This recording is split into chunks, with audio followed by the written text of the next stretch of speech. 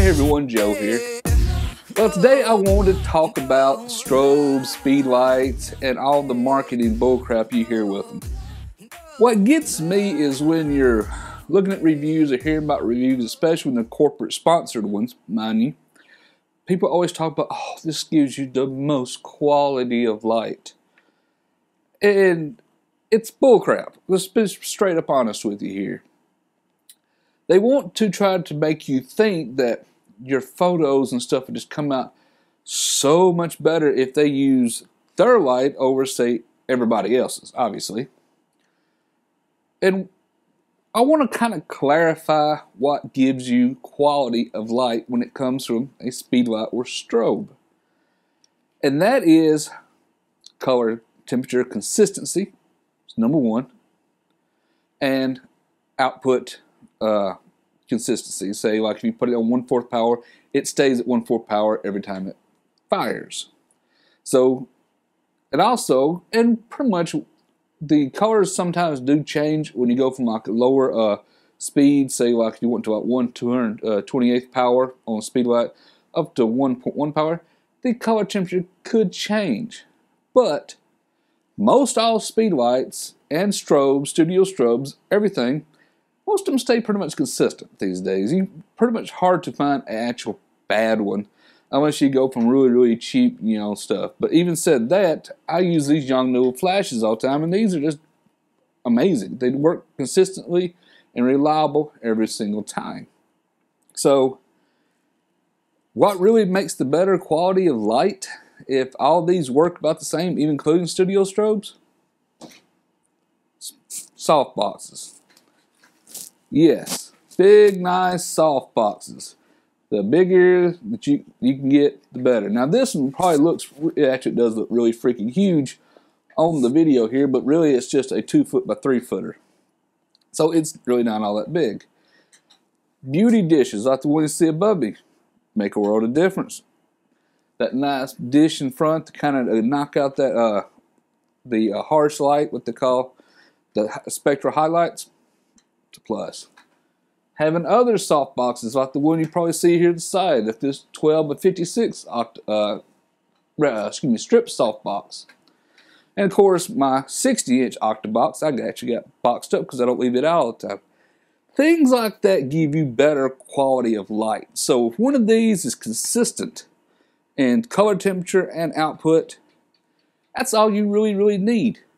So even like these Yongnuo flashes go from 60 to $75 a piece, work from almost everybody.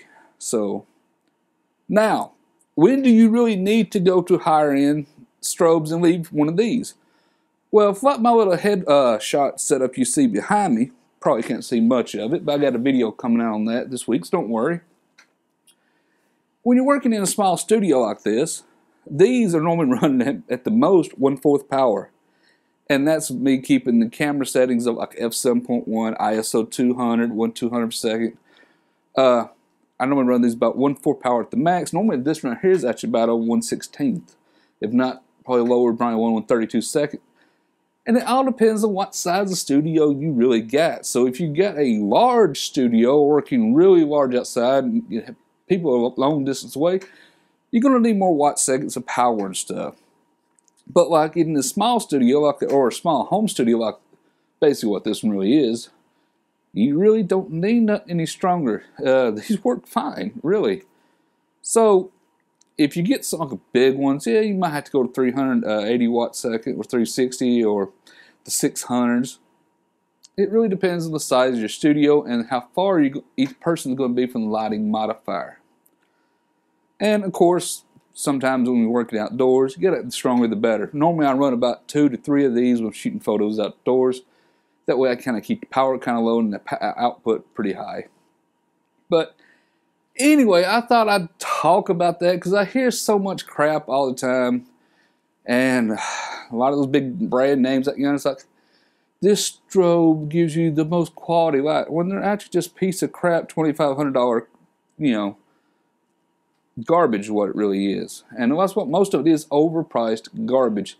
So I really want my viewers and stuff to be kind of aware that you don't need those high-end plastic crap things you see advertised all the time. Some of the lower end, cheaper stuff is what I really recommend. Other than if you want just manual system, if you these are not powerful enough for you, which right now in this small studio these are more powerful. I really recommend if you go to a bigger studio, look into Paul C. Buff Einstein uh, 640s. The those are just amazing studio strobes at $500 a piece. You really, really can't beat the deal. And if you're working anything smaller that you don't need those, because those can, can be easily go overkill, you know, use uh, these Yongnuo YN560 Mark IVs. Amazing, you know. But anyway, I thought I'd talk about that today. I get tired of hearing about everybody else's, oh, this is so much better quality. What? Oh, bullshit. They're all the same. You know, pretty much everything's the same unless you get really, really cheap Chinese stuff. Now, I'm not trying to you know down the Chinese people. It's just the way manufacturing those stuff is just naturally cheaper when it comes from it. So, anyway, that's it for this vlog. It's kind of like a small rant. Didn't want it to be a rant. I want to kind of be kind of educational too. So, anyway that's it for this video, everyone. If you like this video, you know, how about give me a thumbs up? Thumbs up is always highly appreciated. If not a subscriber to my channel, be sure to subscribe. Subscribe is free. It's for you. I'll let you know when I release more videos. Until next time, everyone, thank you for watching.